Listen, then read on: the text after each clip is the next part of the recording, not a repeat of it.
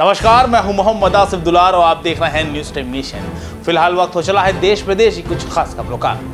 सुल्तानपुर में एसडीएम और SP, CRPF और पुलिस के साथ पाँचों पीने इलाके में पहुँचे। इस दौरान अधिकारियों ने आम जनता को हिफाजत का भरोसा भी दिया। सुल्तानपुर में बीएसपी के पूर्व विधानसभा प्रत्याशी मुजीब अहमद सभा में शामिल हो गए हैं। पत्रकारों से बातचीत के दौरान उन्होंने अखिलेश यादव की जमकर तारीफ़ की। सुल्तानपुर के कुड़वार कस्बे में एसडीएम ने फ्लैग मार्च किया। इस दौरान एडिशनल एसपी सीओ सिटी और थाना अध्यक्ष समेत सीआईएसएफ के जवान भी शामिल हुए।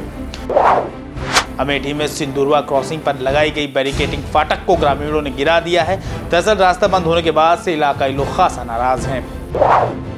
अमेठी पहुँचे अपर मुख्य सचिव, उच्च शिक्षा की नोडल अधिकारी मोनिका एस गर्ग ने जगदीशपुर ट्रॉमा सेंटर का निरीक्षण किया। इस दौरान उन्होंने अधिकारियों को दिशा निर्देश भी दिए। अमेठी में e district manager Amit Vishwakarma ने फ्लाइंग स्क्वाड को प्रोजेक्टर के ज़रिए प्रशिक्षण दिया। इस दौरान दर्जनों लोग मौजूद रहे।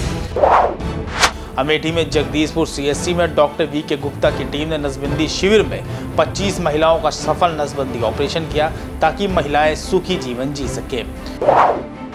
अमेठी पुलिस अधीक्षक ने गौरीगंज कस्बे में फ्लैग मार्च किया और चुनाव के दौरान लोगों को सुरक्षा का भरोसा दिलाया। अमेठी में यातायात पुलिस ने चुनाव आचार संहिता लगने के बाद चेकिंग अभियान चलाया। अभियान के दौरान कुल एक सौ इक्यावन वाहनों का चालान काटते हुए जुर्माना भी वसूला गया।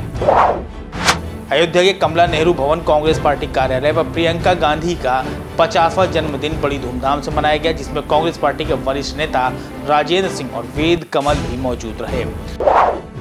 बाराबंकी में जिलाधिकारी और एसपी ने चुनाव को लेकर ज़िले के मतदान केंद्रों का निरीक्षण किया और अधिकारियों को दिशा निर्देश भी दिए।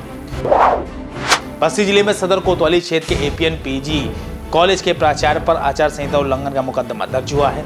दरअसल, कॉलेज के प्राचार्य कॉलेज के अंदर छात्रों को सरकारी योजना के तहत लैपटॉप, मोबाइल और टैबलेट बांट रहे थे।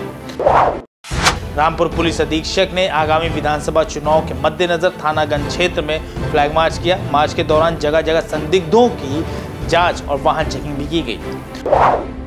रामपुर में पुलिस अधीक्षक ने श्रीकांत प्रजापति और धर्म सिंह मारछाल को पुलिस उपाधीक्षक पद से अपर पुलिस अधीक्षक पद पर प्रमोशन दिया है। इसी के साथ ही एसपी ने पदोन्नत हुए अधिकारियों को शुभकामनाएँ भी दी। रामपुर ज़िले में ग्राम पंचायत नगलिया, काशमगंज और ग्राम पंचायत प्राणपुर समेत कई गाँव में टीकाकरण कैंप लगाया गया, जिसमें ग्राम प्रधानों की लापरवाही से डीएम खासा नाराज़ हैं।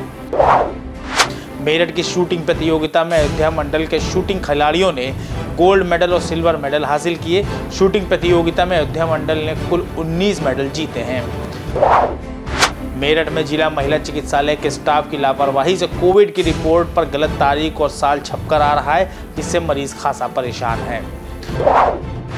और यह जिलाधिकारी ने पत्रकारों के साथ प्रेस कॉन्फ्रेंस की। इस दौरान उन्होंने बताया कि अधिकारी विधानसभा चुनाव में मतदान का प्रतिशत बढ़ाने की कोशिश कर रहे हैं।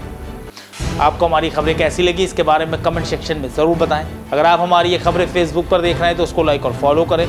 और अगर यूट्यूब पर देख रहे हैं तो सब्सक्राइब करके बेल आइकन ज़रूर दबाएँ। नमस्कार।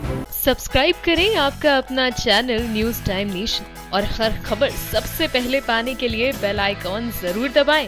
और हाँ खबरें पसंद आ जाएँ तो लाइक और शेयर करना ना भूलें।